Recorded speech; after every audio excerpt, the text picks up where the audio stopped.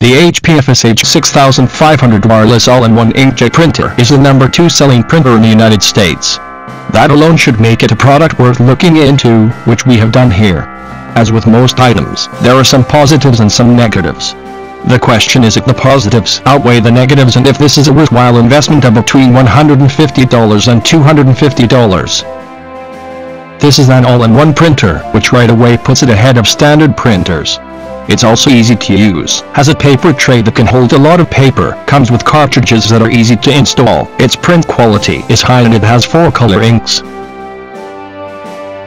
In addition to that, it helps office productivity, doesn't have any messy wires or cables that you can trip over or get tangled in, has a simple photo feature, the ability to make brochures and flyers, easy scanning and faxing, color printing that is cheaper than lasers, two-sided printing, memory card slots, and an auto document feeder.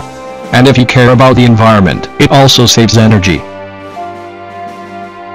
The software takes between 20 and 30 minutes to install. It's noisier than most printers. There's a two-line text display opposed to a color LCD screen. It must be installed from a disk for each machine, and the printer drive is very large, 245 MB.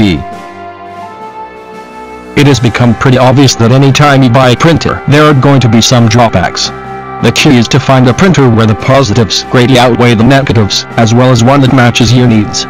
In the case of the HP Officejet 6500 wireless all-in-one inkjet printer, the positives outweigh the negatives. It might take a while to install, but that's an end-time event. As far as the noise goes, most people would be willing to trade that in for a plethora of features and high-quality printing, not to mention all at a very affordable price.